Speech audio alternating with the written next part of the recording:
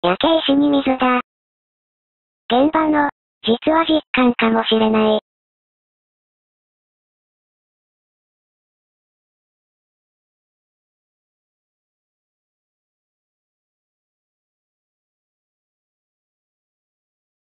1ヘクタールとは、結構広い。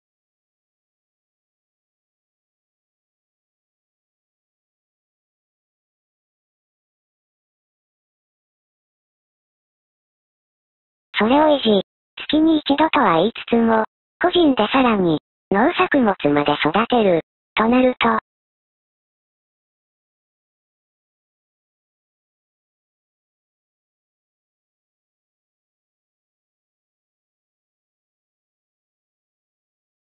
費用対効果、それは、悪いかも。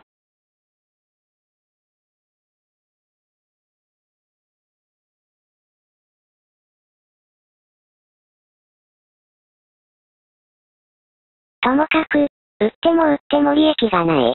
それはどこでも今、重い。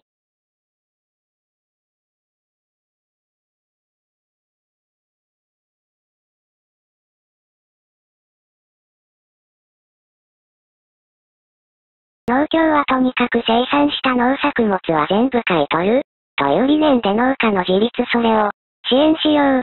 しかし、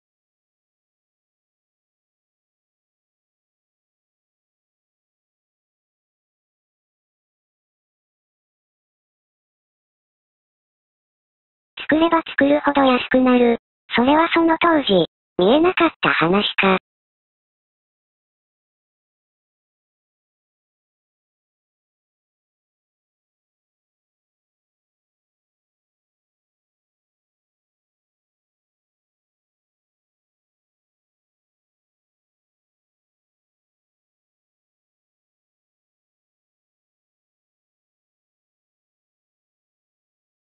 方で残ってる農家、というと、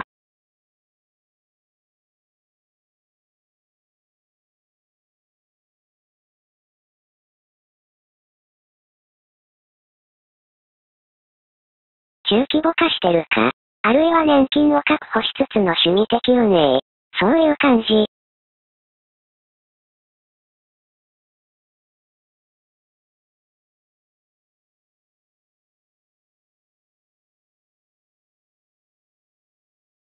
未来がなければ発展もなく、地方の人離れはシャレにならない上に、余裕のなさは役職の忌避にもつながり、なんだか八方塞がりではある。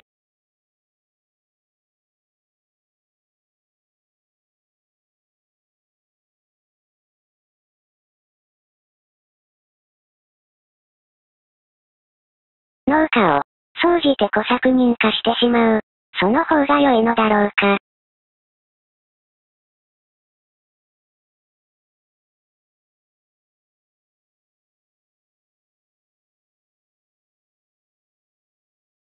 江戸時代の、